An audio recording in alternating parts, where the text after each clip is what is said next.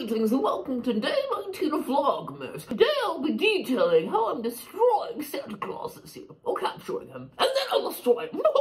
now this is where things get interesting, because some of the chocolate has fallen to the bottom. So let's see how much is left, really, for what we have. So today is 19. Oh, the Yeti is singing a nice Christmas carol by the candlelight, but unfortunately I hate candles. But that Hershey Kiss is there, so the quest for the missing chocolate is only beginning. Alright, Goslings, let's add sugar.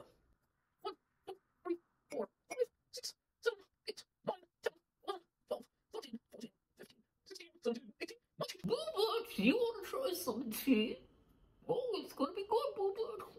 Here you go. Boobert! He just fainted. What do I do? It's time to discuss my plan to capture Santa Claus. Now, let's see.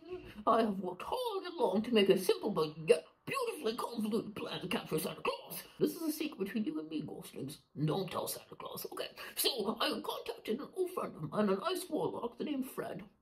He didn't change it when he became an ice warlock, maybe he should have. Anyway, I contacted Fred. He made me these special magical candy canes that, when built in the shape of a Santa hat, will capture whoever enters the circle. Now, question you may be having is, Santa Claus into the Santa ship? Well, first of all, he's very vain, so the Santa hat will be a very tempting thing for him to look at, but he will not step in it because he'll be suspicious. That is true. Now, I can't address Santa or try to capture him here because he foiled me last year when he came here. So, instead, I have to think more wisely. So I need to lure Santa to someplace new, somewhere he doesn't know where I live and frequent. So, of course, I chose an insane asylum, an abandoned one, of course, where ghosts linger and wander. So, how I him there? Well, I wrote him a letter.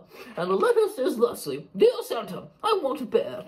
Susan, bracket, not the medium Atticus, just in case he was suspicious about this letter. He'll go to this insane asylum looking for Susan, and when he looks around, he will see in the middle of the floor, well, maybe I should get a table, yes. On this table will be eggnog and shortbread cookies. Actually, all types of cookies, yes. That's the plan. I'll put shortbread, gingerbread, chocolate chip, all the cookies on this little plate. And when he walks over to grab a cookie, the trap will activate, freezing Santa like this. Probably he'll be reaching for the cookies. And then I'll go, gotcha, Santa. And then he'll finally tell me where my father is, and I can finally see my dad again. It's convoluted, Goslings, but it has to work. So end this vlogmas today, Goslings. I hope you enjoyed. If you did, make sure to like, comment, and subscribe. As always, I'm so grateful you're here, and I can't wait to see you back here for more Gosling content. That said, don't tell Santa Claus I'm flying. Peace.